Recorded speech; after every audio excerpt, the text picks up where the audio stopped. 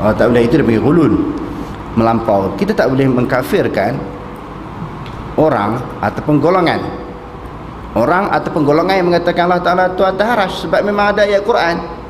Walaupun ayat itu sebahagian ulama mentakwil kan tetapi Quran itu ada. Okey, Nabi Isa ni apa yang kita pelajari dia telah meninggal dunia ataupun ada lagi? Nabi Isa ada lagi Dia meninggal dunia ataupun masih ada? Ada lagi? Duduk di mana? Berada di mana? Ha? Tak tahu tak cerita-cerita Nabi Nabi Isa? Kita muzakarah ni tuan-tuan. Jangan harap saya cerita, saya pun kan tahu semua benda ni. Saya nak tanya tuan-tuan, Nabi Isa tu masih hidup ke berdasarkan kepada pendapat biasa? Hak pendapat yang luar biasa tu ada lagi. Nak cerita hak biasa-biasa yang kita belajar. Nabi Isa tu masih hidup atau telah wafat? Dia berada di mana? Okey. Di dalam surah An-Nisa Allah Taala kata wa ma qataluhu wa ma wa ma qataluhu wa ma salabuhu walakin syubbiha lahu. Nabi Isa tidak dibunuh dan tidak disalib.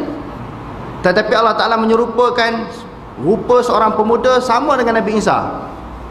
Lalu lelaki inilah yang dibunuh kata Allah di dalam surah An-Nisa barrafa'ahu Allahu ilaihi wa kana Allahu azizan hakima.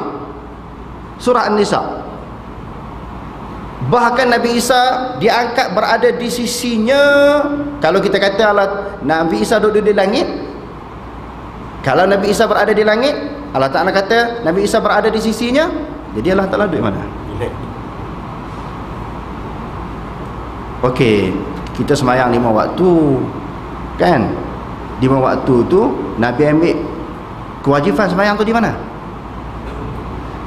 Okey, dalam Quran Allah Taala kata subhanallazi subhanallazi asra bi 'abdihi lailan minal masjidil harami ilal masjidil aqsa allazi barakna haulahu linuriyahu min ayatina innahu huwas samiul basir.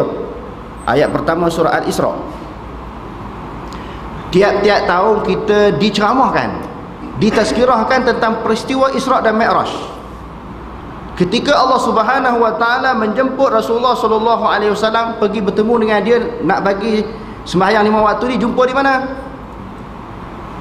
Di Mengkuang ke? Penanti ke? Jumpa di mana? Di Gua Hira ke? Jumpa di mana? Jumpa-jumpa tu di mana? Yang tuan-tuan duk dengar ceramah. Tak usah dengar hak ceramah saya sebut malam ni. Hak tuan-tuan dengar sebelum ni. Pergi ke mana tu? Nabi Muhammad jumpa Allah Ta'ala di mana? Hak tu tuan-tuan balik jawab di rumah. Di langit. Kenapa tak berani kata? Dalil cukup banyak tuan-tuan Sampai subuh saya boleh cerita dan dia lah telah terharas. Sampai subuh insya-Allah. Insya-Allah sampai subuh saya boleh cerita. Dalil-dalil dalam Quran hadis. Tapi kalau tuan-tuan tekan saya, desak saya, paksa saya cari dalil daripada Quran dan hadis, Allah Taala tu tak bertempat, saya angkat tangan saya tak ada jawab. Yang tu saya tak ada tak ada ilmu, tak ada maklumat. Cuma kita boleh terima lah orang yang kata, bagi golongan yang kata Allah Taala tak bertempat itu, maka dia tidak tujuannya tidak mahu menyamakan Allah dengan sifat baru. Hak tu kita boleh terima. Tapi kalau tanya saya dalil ambil di mana? Tak ada. Saya duduk mengaji sekolah Arab.